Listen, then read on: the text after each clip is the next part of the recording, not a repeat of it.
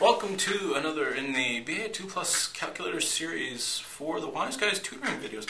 In this one, we're going to be looking at markup based on cost. So, our company purchases high definition DVD players for $299 less a 15% manufacturer discount.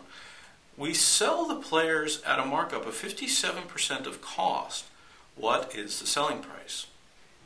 The first thing we have to worry about is the fact that we're receiving a 15% manufacturer's discount.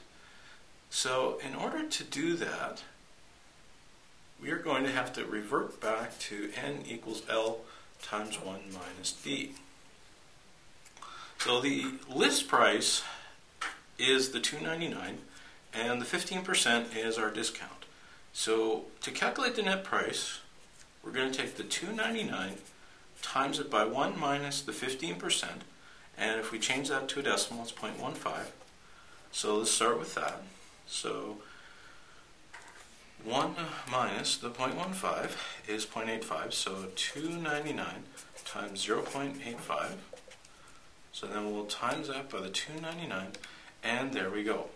There's our net price, 254.15. The net price is also cost. So this is also our C.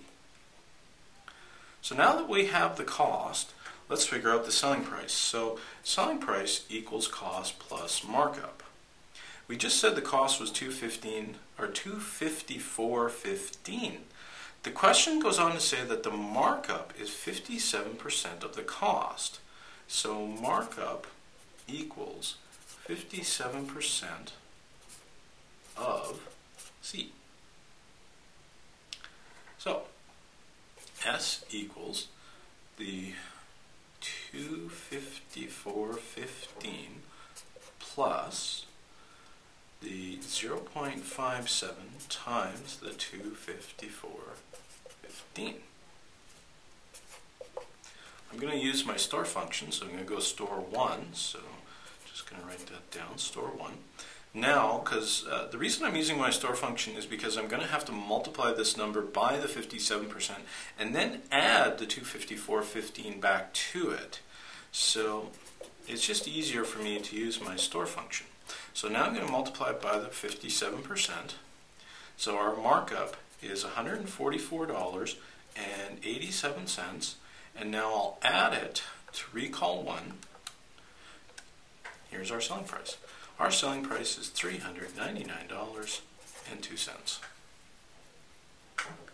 Okay, so this uh, was for finding uh, the selling price when markup is based on cost.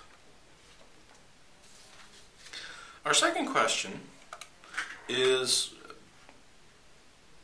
we're going to find the cost when markup is based on cost. So our company also sells high definition televisions. Management would like you to find the cost of the television sets if we sell the television sets for $899 with a markup of 50% of cost. So the $899 here, this is our selling price, and the 50%, this is our markup. So we can say S equals C plus M. Now, so M this time is going to be 50% of cost. So now we've got the 899 equals cost plus 0.50 cost. Now when we have a letter by itself in algebra, we just put a 1 in front. So I'm just going to put a 1 in front of the C, add it to the 0.5, so that means 899 equals 1.5C. So now to solve for C, we're just going to divide by 1.5, cancel it out, divide by 1.5. So if we go 899 divided by 1.5, our cost is 599 and 33 cents. And there we go. That is finding cost when we have selling price and markup is based on cost.